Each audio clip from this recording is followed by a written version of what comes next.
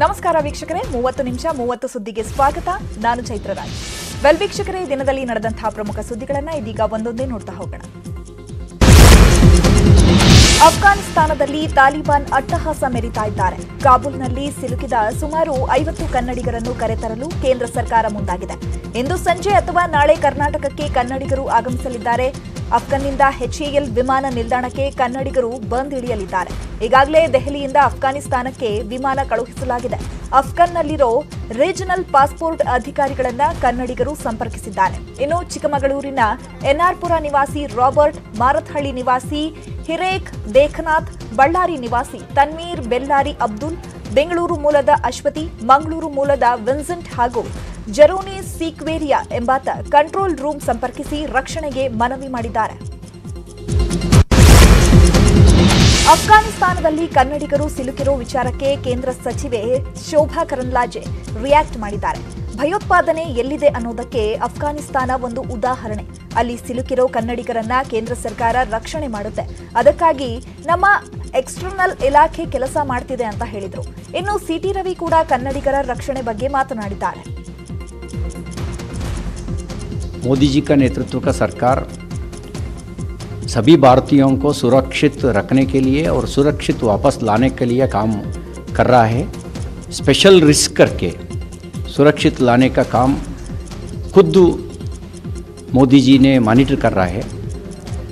उनके नेतृत्व में दुनिया भर भारतीय भारतीय लोग सुरक्षित। ಅಫ್ಘಾನಿಸ್ತಾನದಲ್ಲಿ ಕನ್ನಡಿಗರು ಅತಂತ್ರ ವಿಚಾರಕ್ಕೆ ಸಂಬಂಧಪಟ್ಟಂತೆ ಮಂಗಳೂರಿನಲ್ಲಿ ಗೃಹ ಸಚಿವ ಅರಗ ಜ್ಞಾನೇಂದ ರಿಯಾಕ್ಟ್ ಮಾಡಿದ್ದಾರೆ. ಕೇಂದ್ರ ಸರ್ಕಾರದಿಂದ ಕನ್ನಡಿಗರನ್ನು ಕರೆತರುವ ವ್ಯವಸ್ಥೆಯಾಗ್ತಿದೆ. ರಾಜ್ಯದಿಂದ ನೋಡಲ್ ಆಫೀಸರ್ ನೇಮಕ ಮಾಡಿದ್ದೇವೆ. ಸಂಕಷ್ಟದಲ್ಲಿರುವವರು ಅವರನ್ನ ಸಂಪರ್ಕ ಮಾಡಬಹುದು. ಕೇಂದ್ರ ಸರ್ಕಾರ ಜನರನ್ನು ರಕ್ಷಣೆ ಮಾಡುವ ಕೆಲಸ ಮಾಡ್ತಿದೆ ಅಂತ ಅರಗ ಜ್ಞಾನೇಂದ್ರ ಮಾಹಿತಿಯನ್ನ ಕೊಟ್ಟಿದ್ದಾರೆ. ವ್ಯವಸ್ಥೆ ನಮ್ಮಲ್ಲಿ ಒಬ್ಬ ಸ್ಪೆಷಲ್ ಆಫೀಸರ್ನ ನೇಮಕ ಮಾಡಿದ್ದೇವೆ. ಉಮೇಶ್ ಅಂತೇಳಿ. ಅವರ ನಂಬರ್ಗಳನ್ನು ಎಲ್ಲ ವೆಬ್ಸೈಟ್ಗಳಲ್ಲಿ ಇದರಲ್ಲಿ ಹಾಕಿದ್ದೇವೆ. ಒಟ್ಟು ಭಾರತೀಯರು ಎಷ್ಟಿದ್ದಾರೆ ಅನ್ನುವಂಥದ್ದು ಅವ್ರ ಕೈಲಿದೆ ಅವರಿಗೆ ಸೇಫಾಗಿ ಕರ್ಕೊಂಡು ಬರುವಂಥದ್ದು, ಅವ್ರಿಗೆ ತೊಂದರೆ ಆಗದಿದ್ದಾಗೆ ನೋಡ್ಕೊಂಡು ಬರುವಂಥದ್ದು ಸೆಂಟ್ರಲ್ ಗೌರ್ಮೆಂಟ್ ಆ ಕೆಲಸ ಮಾಡ್ತಾ ಇದೆ. ಕೋಆರ್ಡಿನೇ ಕೋಆರ್ಡಿನೇಟ್ ಮಾಡಲಿಕ್ಕೆ ನಮ್ಮ ಅಧಿಕಾರಿ. ಇನ್ನು ಉಡುಪಿ ಮೂಲದ ಕನ್ನಡಿಗ ಜಾನ್ ಎಂಬಾತ ಅಫ್ಘಾನಿಸ್ತಾನದ ತಾಲಿಬಾನ್ಗಳ ಕಪಿಮುಷ್ಟಿಯಿಂದ ಪಾರಾಗಿ ಬಂದಿದ್ದಾನೆ. ಜಾನ್ ಉಗ್ರರ ಕರಾಳತೆಯನ್ನ ಬಿಚ್ಚಿಟ್ಟಿದ್ದಾನೆ.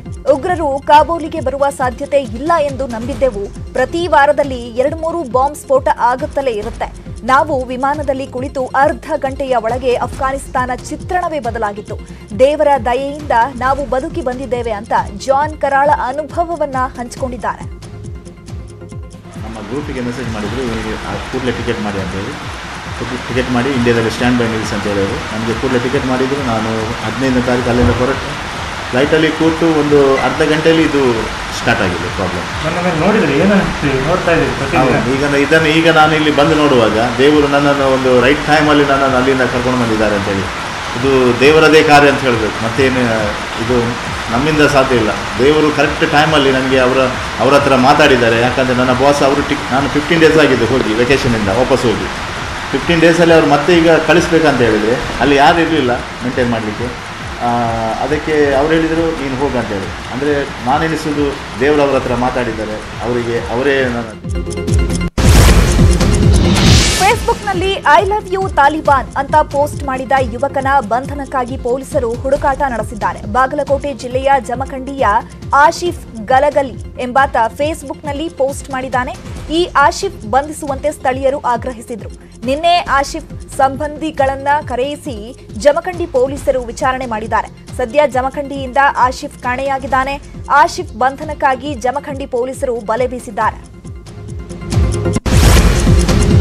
ಅಫ್ಘಾನಿಸ್ತಾನದಲ್ಲಿ ತಾಲಿಬಾನ್ ಅಟ್ಟಹಾಸ ಹಿನ್ನೆಲೆ ಬೆಂಗಳೂರಿನಲ್ಲಿ ಅಫ್ಘಾನ್ ಡ್ರೈ ಫ್ರೂಟ್ಸ್ಗಳ ಬೆಲೆ ಏರಿಕೆಯಾಗಿದೆ. ಅಫ್ಘಾನ್ ಡ್ರೈ ಫ್ರೂಟ್ಸ್ ಬೆಲೆಯಲ್ಲಿ ಶೇಕಡ ಎಪ್ಪತ್ತರಿಂದ ಎಂಬತ್ತರಷ್ಟು ಹೆಚ್ಚಳವಾಗಿದೆ. ಅಫ್ಘಾನ್ನಿಂದ ಪ್ರಮುಖವಾಗಿ ಆಮದಾಗ್ತಾ ಇರೋ ಪೈನ್ ನಟ್ಸ್ ಬೆಲೆ ಇದ್ದಕ್ಕಿದ್ದಂತೆ ದುಬಾರಿಯಾಗಿದೆ. ಆರು ಸಾವಿರದ ನಾನೂರರಿಂದ ಎಂಟು ಸಾವಿರದ ಎಂಟುನೂರಕ್ಕೆ ಪೈನ್ ನಟ್ಸ್ ಏರಿಕೆಯಾಗಿದೆ. ಸಾವಿರದ ನಾನೂರು ರೂಪಾಯಿ ಇದ್ದ ಅಫ್ಘಾನ್ ಸ್ಪೆಷಲ್ ಅಂಜೂರ್ ಬೆಲೆ ಎರಡು ಸಾವಿರದ ನಾನೂರು ರೂಪಾಯಿಗೆ ಏರಿಕೆಯಾಗಿದೆ. ಅಫ್ಘಾನ್ ಒಣದ್ರಾಕ್ಷಿ, ಕೇಸರಿ, ಅಫ್ಘಾನ್ ಮಾರ್ಮಾ, ಬದ- ಬಾದಾಮ್ ಸೇರಿದಂತೆ ಎಲ್ಲವೂ ಹೆಚ್ಚಳವಾಗಿದೆ. ನಾಡಿನಾದ್ಯಂತ ವರಮಹಾಲಕ್ಷ್ಮಿ ಹಬ್ಬದ ಸಂಭ್ರಮ ಮನೆ ಮಾಡಿದೆ. ಶುಕ್ರವಾರದ ವರಮಹಾಲಕ್ಷ್ಮಿ ಪೂಜೆ ಎಲ್ಲೆಡೆ ಸಂಭ್ರಮ ಕಳೆಕಟ್ಟಿತ್ತು. ಬೆಳಗ್ಗೆಯಿಂದಲೇ ನಾಡಿನ ಮಹಾಲಕ್ಷ್ಮಿ ದೇಗುಲಗಳಲ್ಲಿ ಭಕ್ತರು ವಿಶೇಷ ಪೂಜೆ ಪುನಸ್ಕಾರ ನೆರವೇರಿಸಿದ್ರು. ಅಲ್ಲದೆ ಸಂಪತ್ತು ವೃದ್ಧಿಗಾಗಿ ಭಕ್ತರು ಮನೆಯಲ್ಲಿ ಲಕ್ಷ್ಮಿಯ ಮೂರ್ತಿ ಸ್ಥಾಪಿಸಿ ಆಚರಿಸಿದ್ರು. ಕರುನಾಡಿನಾದ್ಯಂತ ವರಮಹಾಲಕ್ಷ್ಮಿ ಹಬ್ಬದ ಸಂಭ್ರಮ ಸಡಗರ ಕಳೆಕಟ್ಟಿತ್ತು.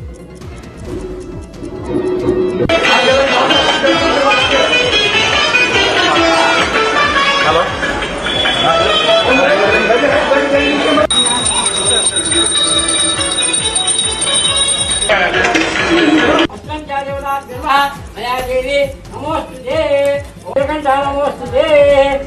Om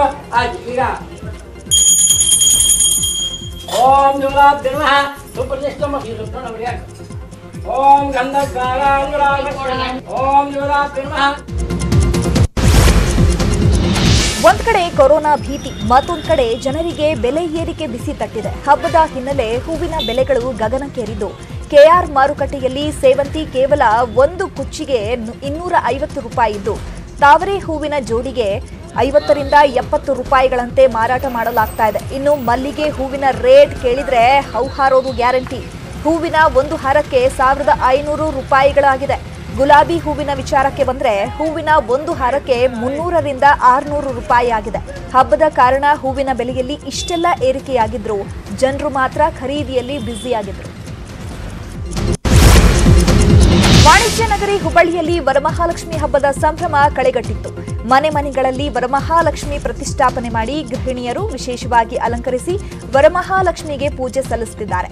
ಚಿನ್ನದ ಆಭರಣ, ಬೆಳ್ಳಿ ಮತ್ತು ನಗ ನಾಣ್ಯ ಇಟ್ಟು ಮಹಿಳೆಯರು ಪೂಜೆ ನೆರವೇರಿಸಿದರು. ಅಲ್ಲದೆ ಐದು ಮಾದರಿಯ ಹಣ್ಣು, ಹೋಳಿಗೆ, ನೈವೇದ್ಯ ಸಮರ್ಪಣೆ ಮಾಡಿದರು.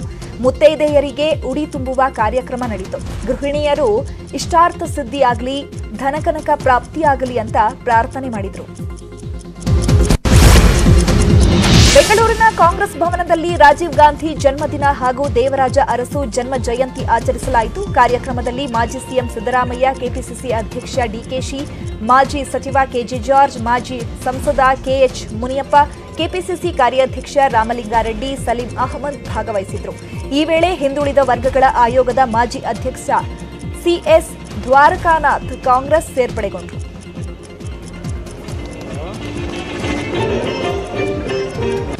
ಆ ಎಲ್ಲರ ಇವತ್ತಿನ ಪರಿಸ್ಥಿತಿನಲ್ಲಿ ಇವತ್ತು ಕಮ್ಯುನಲಿಸಮ್ ಮತ್ತು ಫ್ಯಾಸಿಸಮ್ ತಲುಪ್ತಾ ಇರೋಂಥ ಜಾಗ ನೋಡಿದಾಗ ನಮಗೊಂದು ದೊಡ್ಡ ಶಕ್ತಿ ಬೇಕಾಗತ್ತೆ.